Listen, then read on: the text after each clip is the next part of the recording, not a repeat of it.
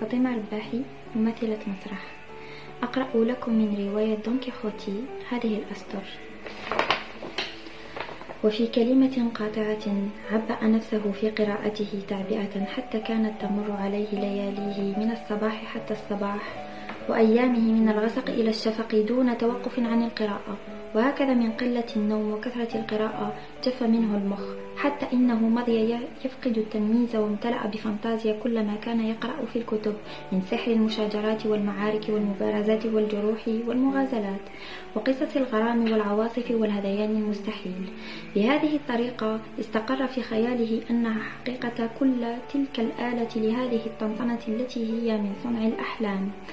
وهذا اللون من مخترعات ما يقرأ حتى إنه بالنسبة له لم تكن هناك تواريخ أكثر يقينا في العالم إلا ما يقرأ في تلك الكتب. وكان يقول إن السيد روي دياس كان فارسا ممتازا ولكنه لم يبلغ مرتبة الفارس ذي السيف المحمي الذي بضربة واحدة شطر ماردين متوحشين في هول. وكان هواه مع برناردو ديل كاربيو لأنه في روسنفال قتل رولدان المسحور كما قد صنع هرقل عندما خنق أنتيو ابن إلهة الأرض بين ذراعيه وكان يتحدث عن محاسن المارد مورجانتي.